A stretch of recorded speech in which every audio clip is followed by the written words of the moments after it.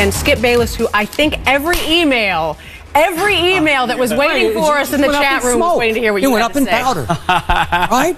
Where where did it go? oh, it's oh, I'm sorry. Don't do that to poor Jay. Yeah. Let's go back to Saturday, gentlemen, if we can. I know you're probably salivating a little bit here, Skip. Scoop. Uh, Skip, how you doing? LeBron did not. fun. LeBron did not shake hands uh, with the Magic or address Yeah, the media after the game. Shake hands. LeBron did not. He did talk yesterday, though. Finally, take a listen to some of what he had to say. Have you talked to Dwight? I mean, you didn't shake hands with anybody last night, but have you talked to him to congratulate him or no? Uh, no, I haven't. I sent him an email last night, congratulate him. But um, one thing about me, guys, you got to understand. You know, I, it's hard for me to congratulate somebody after you just lose to them. You know, I mean, it's, you know, it's, I'm, you know, I'm a winner. You know, it's not being a poor sport or anything like that. But somebody just, somebody beats you up.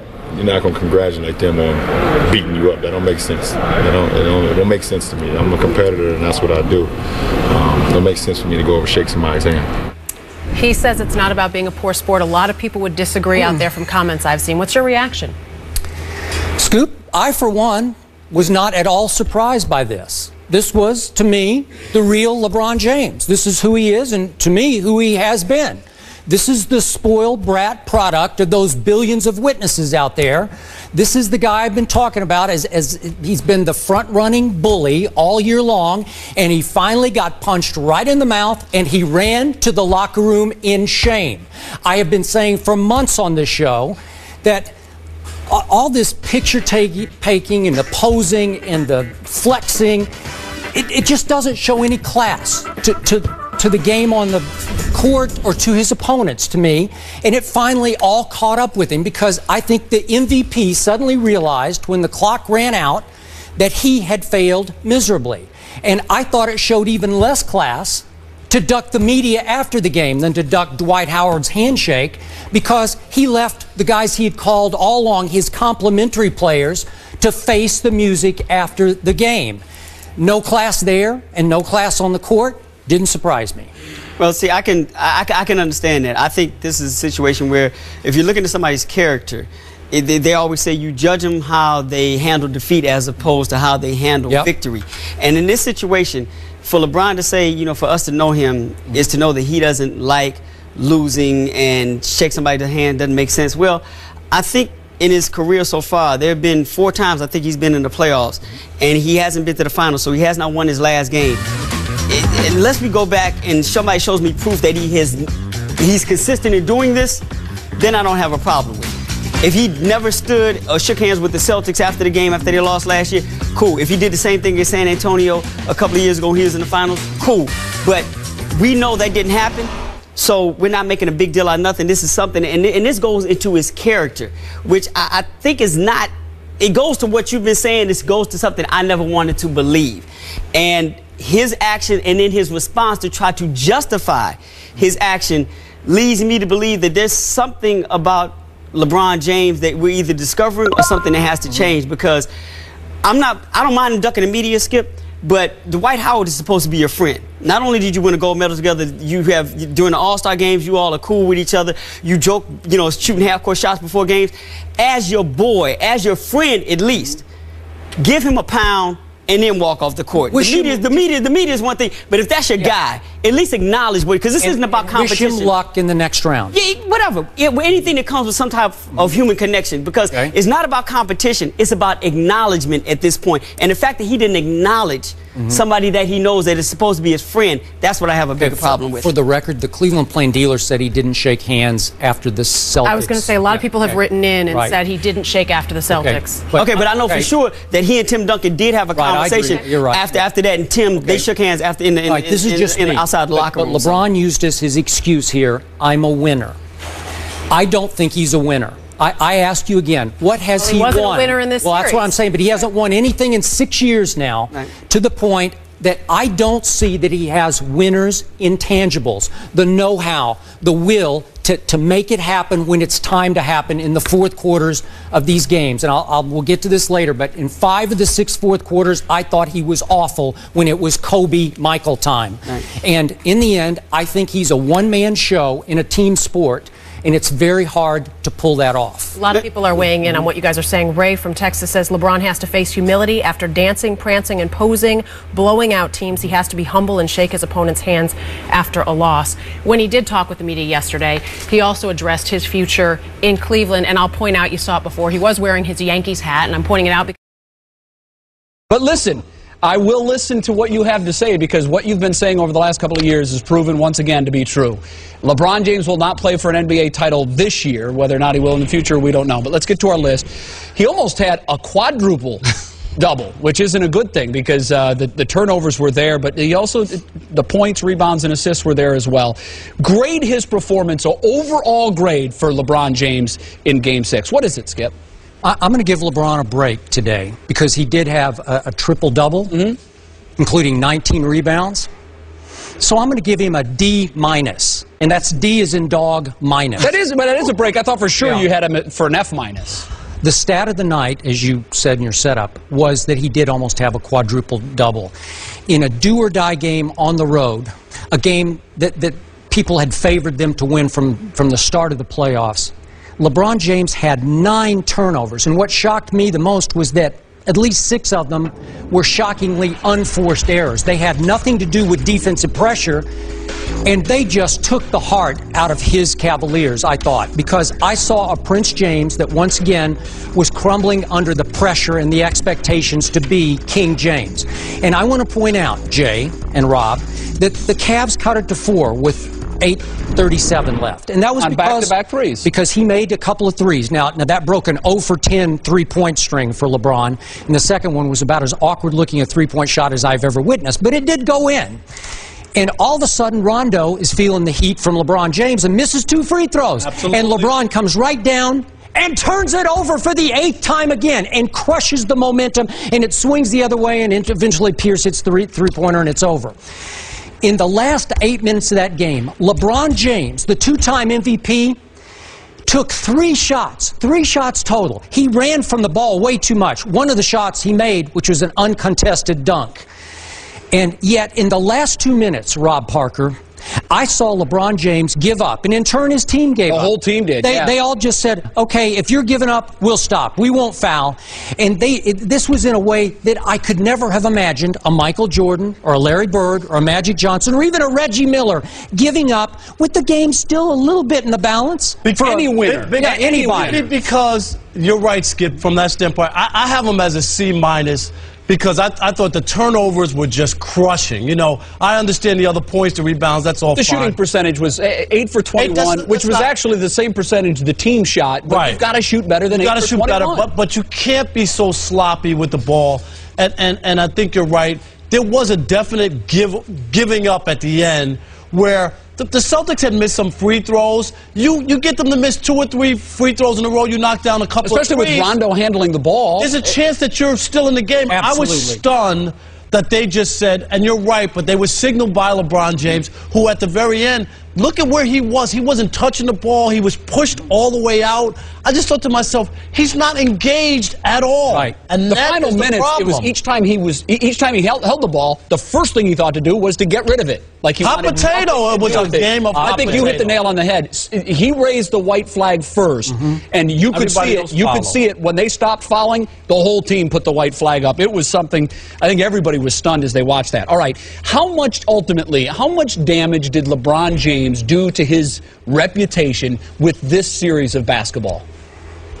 Look, obviously, for me, as you well know, all too well, it just confirmed everything I've been saying about him for three or four years on this show. And so much of it I've been criticized for because I've been unfair and over the top when I talk about LeBron James. And so, Jay, just let me say, for the record right now, I'm offended when people dismiss me as a hater. I don't like that term when it comes to LeBron. If you want to use it in the big picture, that's fine. and it's fine. used towards you a lot. Okay. When it comes to LeBron James and, and As- others too. As God is my witness, I don't hate LeBron. I think I don't know him well. You know him better than I do, but but I get the feeling he's really a good guy, nice guy. Maybe he's too nice of a guy.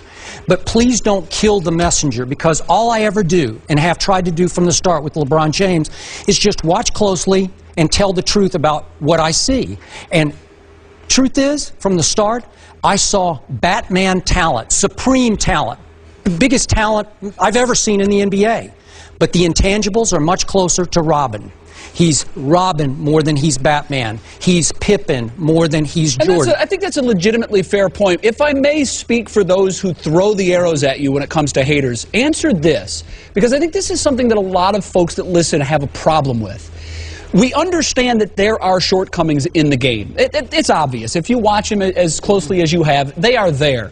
But the D minus is to automatically dismiss a line, skip, 27 points, 19 rebounds, and 10 assists. Now, yes, the turnovers are inexcusable, and the shooting percentage was pathetic, but a D minus implies that he is the worst student in the class. Mm-hmm. That's where I think those that come at you with that hater line, I think that's the problem that they may have. We're back to Michael Jordan. He, I, I feel like he begged this this comparison because he did choose number 23 and he's going to change to six next year, but he did steal the powder throwing routine. And I thought he shamed the number 23 the last two games. And that's my legacy for him right now because that's all I have to go on. But Well, you was- have you have other games. I, I know, on, but he was lifeless in those last Okay, two games. that's to fair. the point I'm saying he's the fake MJ. He's the two-time MVP with two times the best regular season team by far to me, and the, the prohibitive favorite going into the playoffs. And twice now, I've I've gone. Okay, I'm going Orlando in six last year over Prince James. You got them both. And then I'm going Boston in six because he can't stand up to the pressure. The higher the expectations, the worse he performs. And Now, now this is, you know, you talk about uh, uh, damaging his reputation, and I think he did damage it. Especially the game five was even more, where people just really lost their minds on what he was doing and couldn't Right. put a A lot of head on it, scratching right? to the disconnect of to the disconnect. wasn't there. Totally. I think today people should appreciate Michael Jordan more than ever before because, and I'm not saying it's LeBron's fault because people always want to make a comparison, totally skip, to Michael Jordan. And when you look and, and now start to compare the notes, how hard it is to win mm-hmm. and what it takes other than just pure basketball talent, which we know LeBron has, it tells you about that gene you always talk about Yep. That Michael has that you've got to question now whether or not LeBron really has it. I think those those questions are fair. And, and I think this is what I got. Just two minutes ago, I'm in the cafeteria. Young 20 year old black guy who is a LeBron fan, and those are all the people, Skip, Yeah. who you hear from who are all on LeBron's the greatest, said today for the first time, you know what? I think I'm going to be off this bandwagon. He is not Michael Jordan. And I think people are going to finally buy into what you've been saying for a long but, but time. let, me, let me bring something up quickly because you have always made the contention that it was LeBron who welcomed that upon himself. Truth be told, he was the chosen one as dubbed by Sports Illustrated. Okay. The mass media skip from the time this kid was 15 years old Okay. was saying, as we so unfairly and often do, here he is, the next one. I don't believe that LeBron James discouraged those. no, he didn't discourage it, but at 16 and 17 and 18 year old, But, but I do you know how to do that? Okay, what we've seen now, period, end of story. LeBron James was made for the regular season. He's a regular season dynamo. He's made for our Sports Center plays of the night because he's always number one in the regular season. But come postseason time, postseason, he's the most overrated, overhyped superstar in my history in this business. Seriously, that, that's that's my bottom line to this discussion. That's a very fair. I, I, I would say that's fair.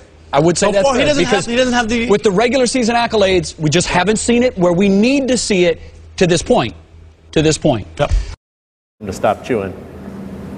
The answer to the question everybody wants to know. LeBron, what's your decision? Um, and this fall, man, this, this is very tough.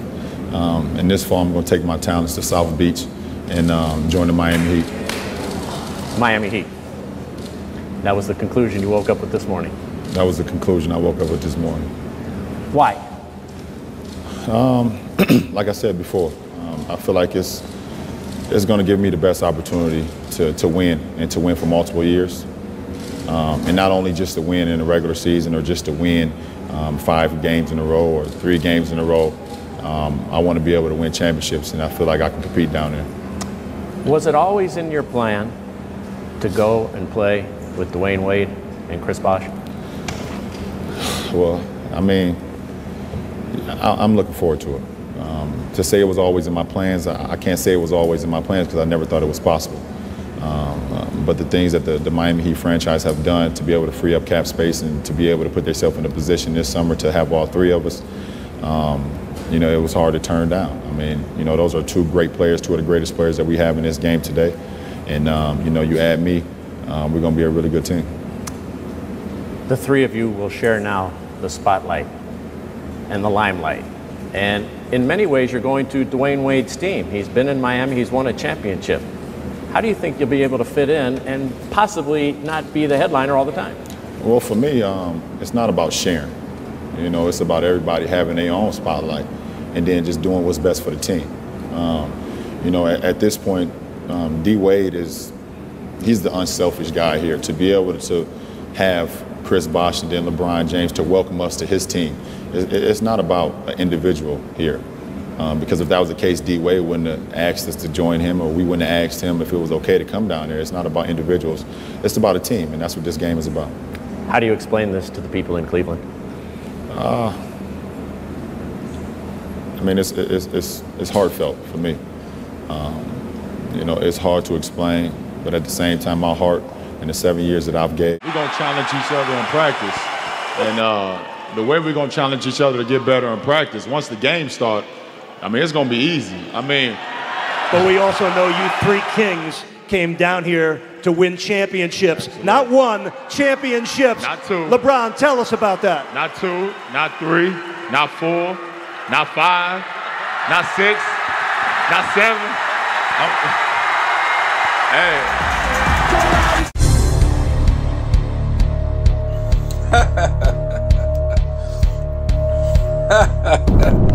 Welcome back to my channel, sports fans. Okay, let's get into this one. LeBron James makes a cowardly decision after melting down, choking, and giving up on his team to go do what? To go get help. So that's what you saw right there. You saw the fact that in two, we're going to cover the whole thing, 2008 too later, right? Because we're supposed to act like that didn't happen in the playoffs neither. But if we go back to 2007, it, it, it was just for telling his future what he was going to be, right? Basically a choke artist. So as you see in the video in 2009, this guy has the number one seed overall in the playoffs. You know, chokes in most of those games, even the final game, the closeout game, the elimination game against the Magic, a number three seed, mind you,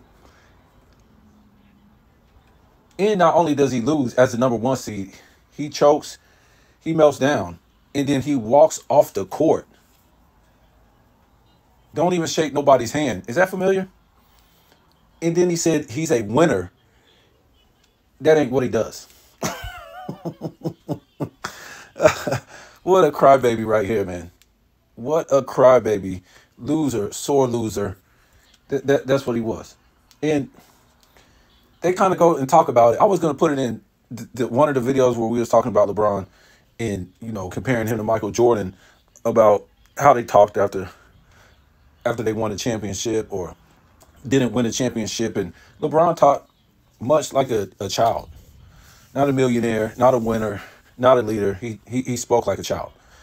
And the part I was going to put in the video which I can't gonna hit me with a copy copyright strike is when they were talking about in 2009 in this video how this guy has no respect. Well they didn't say it this way but i'm gonna say it this way because this is pretty much what they were saying him dancing and taking pictures and front running and all this stuff this is what this guy does he has no respect for leadership for past players for the nba for competition he comes out dancing um acting like he's taking pictures. He does this at the beginning of the game. He does this um sometimes at halftime, and he does it a lot when he's winning. They're sitting on the bench, laughing, carrying on, dancing, and showing up their their, their opponents, especially when they're winning. And the fact that he won't go shake, um, he won't go shake hands with with the Dwight Howard is criminal. So we go to 2010. He breaks it up again. Number one overall seed in the playoffs. And really has no excuse to be doing all this, turn the ball over all these times like he did in both series, missing all these free throws, breaking it up, doing all this stuff. and then, you know, he lost to a four seed. The great Boston Celtics, who was a four seed. The great Boston in 2010. The great Boston Celtics, who a year before in 2009 got smoked by the Orlando Magic. Hmm. You guys keep trying to tell me this was an all-time great Boston team. They had the number one seed in the in, in the Western uh, Eastern Conference one year, right? And they won one championship. How was they an all-time great team? So basically, what LeBron thought he could do was pretty much, and, and he did it for a long time. He was just playing off of pure athleticism and how big he was, and how they pretty much changed the rules to no defense. You can't hand check and do all that stuff no more. Starting in 2005, and he could just run rough shot over the league with his athleticism, and he basically did in the East. And that's how he got to the finals in 2007 after only being in the playoffs one time. That would be impossible in the 90s or the 80s. But because they changed the rules in 2005, anything was possible for a guy who no longer had to get better at his game. He didn't have to go to the post, have a post game. He didn't have to have a mid range. He didn't have to shoot free throws. He could just run rough shot into the paint and stuff like that. And when they called out the paint, he was a dead duck. He turned into a brick artist. So when we get to the decision right here, the coward decision, he states that basically that's the only way he could win. That would give him his best chance of not winning games in the regular season, but in the playoffs and winning a whole bunch of championships go by playing with Dwyane Wade, Chris Bosh, top 10 players in the league at the time. Yep. Top 10 players in the league at the time. And then if that wasn't cowardly enough, well, let me go back. It, it gave him a big chance to win because now, you know, he has so many shortcomings that he can cover all bases now. And I told you guys once before, Curry didn't change the game where you got four guys sitting at the three-point line. It was LeBron who did, right? Drive to the basket, all your guys are spread out on the perimeter. So now if you try to stop LeBron from driving, now you got all these shooters out there ready to bomb away. Um, I, I, I seen stuff like that similar to, you know, the Orlando Magic and I think the Houston Rockets in 94, 95. The difference is Shaq was in the paint, Hakeem was in the paint. So if you went to try to stop them, you had guys outside ready to bomb away. That wasn't the case for LeBron James. He just drove it from the three-point line, barreling into people, and if you try to stop that lane, now he kicked it out to those guys. He wasn't a paint guy. So not only did he make that coward decision, guess what? He goes and taunts the NBA. Not one, not two, not three. So this is the only way he could win. And he went from the nice guy, likable guy. If you go watch that um, LeBron versus Kobe video that I made, they were good friends. And Kobe didn't really want to answer why LeBron didn't want to take the last shot, why LeBron wasn't clutch. He was just like, I don't care. I don't know what's in his mind, but I'm gonna take it. I'm gonna do what I got to do. And you know, Kobe didn't care about being a villain as long as he won. he didn't care. He said LeBron was a nice guy, a funny guy, and just wants everybody to like him. So because he couldn't get it done in Cleveland, he went to Miami and became a villain. If you go watch that video, right? And he became a guy that started paying the media off, uh, paying the media off to lie for him. Because we all know in 2011, he melted down again. So basically, all real basketball fans that was back there, did you hear the boys in, when he was at the Boys and Girls Club? When he made his decision, they was like, oh. They were shocked. And this is what he do in front of children? He runs like a coward with his tail between his legs. Don't stand up like a man and takes the easy way out. this is what he does, and this is supposed to mean something because he did it at some boys and girls club. What a coward! They didn't cheer him on when he did that. They were shocked. So at this point, all real basketball fans already acknowledged and knew um, that his career as far as a top 10 player, like a Larry Bird, like a Magic Johnson, like a Kareem, like, like a Duncan, like a Kobe, like a Jordan, like a Russell, these type of guys, he would never be up there because they had to stick, stand in there and grind it out. They didn't go run. They didn't go run. And if they got free agents, it was nothing like on this level right here. Nothing. This guy was only in his seventh season. And he didn't leave because he didn't have the pieces or that his team failed him. This guy was melting down.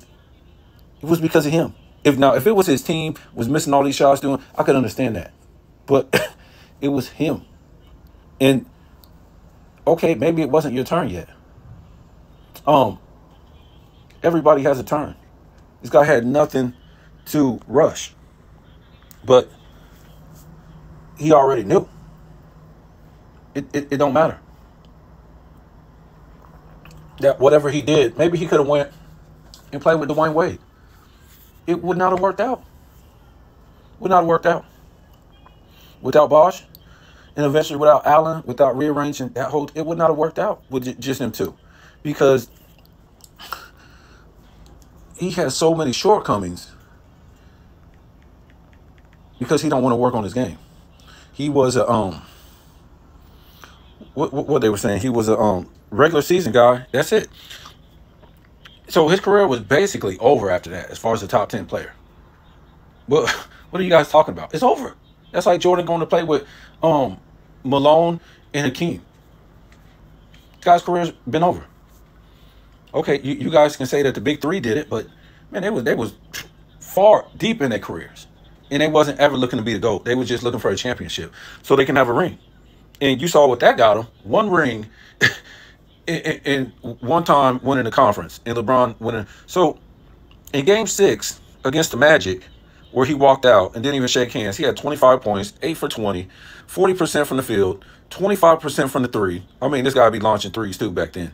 Don't get it twisted. Like four 47 a game because he don't he didn't want to work on his mid range. 63% from the from the free throw. Imagine that. How, how many LeBricks he had at the free throw. And three turnovers, a minus 12. Against Boston,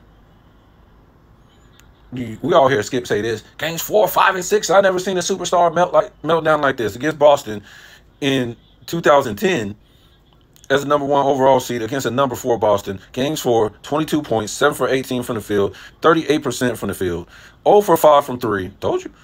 0% from three. Seven turnovers, a minus seven. Game five, 15 points, 3 for 14 from the field. Um, 21, 21% from the field. 0 for 4 from three. And of course, 0% from three.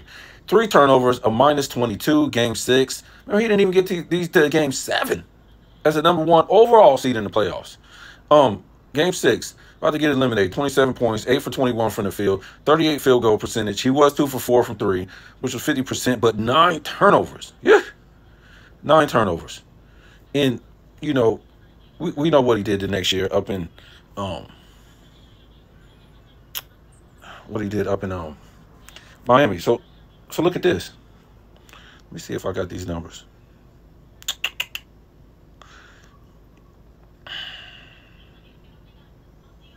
So, in the year before that, 2008, coming off the 2007 finals where he bricked it up, he faces his first super team, right? His first super team against this super team Boston team, right? And I think this was in the second round. He had 20, what is it, 25? I think it's 26 points. And I think he was like 10 and 8 or something. I forget what it was, you know, because they only look at the stats. But this guy had averaged, what, five turnovers per game, shot 35% from the field, right? 23 from the three point, and 75% from the line. In in that series, in game one, where he had Ben Wallace, he had Ilgauskas, two-time All-Star Ilgauskas, Hall of Famer Ben Wallace. So in 2008, in that series against the Big Three, Game one, 12 points. Goodness, ho- ho- ho- you might need a seatbelt for this. Game one, because they, they act like this didn't happen. Four meltdowns in a row in the playoffs, right? Oh seven finals, 08, 09, 2010, 2011. Well, let's look at 2008 because we already know about 07. We just said 09, 2010, and we know about 2011. So again, 2008, game one against Boston, 12 points, 10 turnovers, 11% from the field. What? 0% from three in a minus seven. Game two, 21 points, seven turnovers, 25% from the field, um, 0% from three, uh, minus 15. Game six, I think that was at, no, I'm going to tell you about this. Game six, 32 points, eight turnovers, 39% from the field, 0% three point percentage. And I got this whole thing. The, the, the, all seven games, you won't even believe this guy took this Boston team, putting up these kind of horrible um, percentages to a game seven. You, you, the same thing. If you go all seven games, it's pretty. Yeah, I think he had two good games. Two good games. So basically, he melted down from 2007. I'm talking about in a row, right? Series meltdown 7, 8, 9, 10, 11. And if we count 2006, he took a 3 2 lead going back home against Detroit with Ben Wallace and melted down. Go look at those games six and seven. Go, go look at that. Same thing. All these turnovers, all these missed free throws, low uh, low field goal percentage, low three point percentage. Um, same thing. What was this guy had no choice, had no choice but to go run and build super teams. He ain't got it. He never had it. He needs all these shooters because he can't shoot. He's never been able to shoot. He needs a lot of um other teams' franchise players, as he did his whole career. Went to Ball, I mean, went to Miami, played with other teams' number one franchise players. Went to Cleveland, other teams' number one franchise players, and did the same thing in LA. He needs these guys that can shoot, and he needs a lot of guys that you can worry about. So, you know, you don't have to worry about him. And he needs all these people outside the paint so he can drive the basket. So, you know, it's horrible for the LeBron fans to come to the come to grips. This guy really was never that guy ever. His whole career is just a media movie driven career. It's never been off of hard work. It's never been off the grind, excellence, um, positional skills, real greatness, nothing like that. The greatest he could really get was to go lift weights so he could just bull charge the lane while people while the league was getting smaller and turned into shooters, he was getting bigger. And we've been seeing that for a long time. The big guys were in the 80s, especially the 90s. So in the 90s, he would be nothing but another big dude. He would be like big as Anthony Mason or something like that. And then they will, you're just going to bull charge the lane. It would be a joke. You would get your shot blocked. You would just be another big guy. And if you didn't have like any footwork, any positional skills as a big man in the paint, you, you won't be nothing. You couldn't flop. You couldn't show teammates up. You couldn't pick the coach you wanted to all the time because you, you bricked it up. Um, you would have to work on your game. You would have to play some type of system. And it's just sad when you look back at this. We we still dealing with the same thing today. The same thing. No positional skills. Can't really shoot. Has to get all these guys. Doesn't take accountability. Walks out of games. Um, it's nuts, man. It, it, it's nuts that you now now you got his son up in the game, and like I said before, if this guy did everything right and did everything the right way and was a winner, all this stuff, and you know he brought his sorry son into the league, and you could be like, well, man, that's you know for guy, other guys you'd be like, man, that's Tim Duncan's son, um, that's John Stockton's son, that's Karl Malone's son, that's whoever's son. Okay, we'll give him the benefit of the doubt, whatever. No, this is LeBron's son. Nobody likes this guy outside of LeBron fans because we don't respect what he's did. His career was over when he went to Miami. It was over. I don't know what these people been telling you. It was over back then. He went to Miami, lost. Went to Cleveland, lost more than he won. Has went to L.A. and has lost more than he won. And we're just not talking about championships. We're talking about since he's been there, he's lost. So he's just been like this career loser with a made up career. It's career loser. And that's what I said before. The, the the last real OGs was Tim Duncan, um, Kevin Garnett, and Kobe Bryant.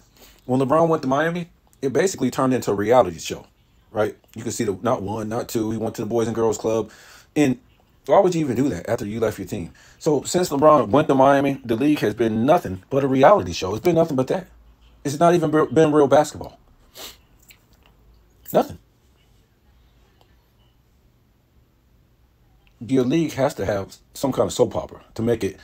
You know, people just don't want to see people hit the ball, throw the ball, and we, we want to see a soap opera too. But when it's seventy percent soap opera and thirty percent actual play on the court, it's no good. And it's not even a good soap opera. It's a soap opera that got everybody arguing, fighting.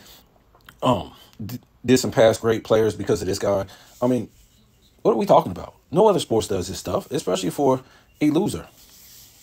We don't we don't do this for a loser. So, I mean, it seemed like it's going to be the end of the world before this guy gets out of the league, and that's what it's going to seem like. Man, it must be the end of the world. This loser got out of the league.